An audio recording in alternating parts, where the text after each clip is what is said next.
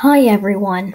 Today I am going to show you how to stop emoticons from turning into emojis on Google Hangouts.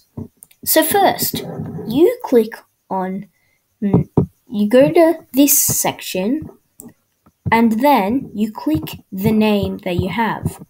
Whether it be like for example Python Shifter or something, I don't know. So I click mine and then you scroll down all the way to general, yeah, there, and then you you click convert text to emoji. By that they mean emoticons. So now I have it enabled. Now I have it disabled. You see? Test it.